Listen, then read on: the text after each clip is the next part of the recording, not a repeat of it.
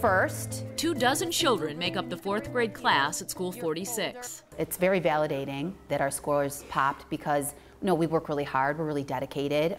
Common Core math scores for this group of young learners ranks among the highest in the district. For example, if I had a number that looked like this, Katie D'Ambrosio, Yes. Greg Subach, We don't know that answer yet, do we? and Natalie Soror team up for teaching. We just have a great respect for one another and what we do.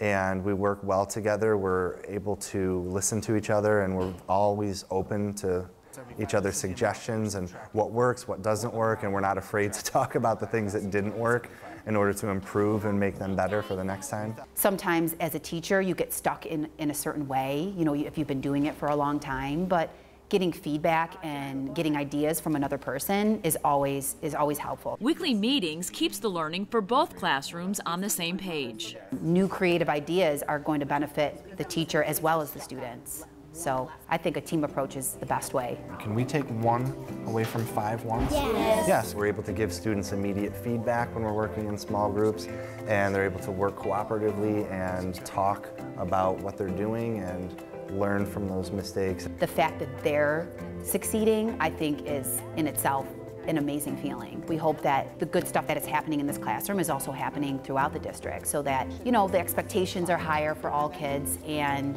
you know, that they're seeing the successes that, that we're seeing.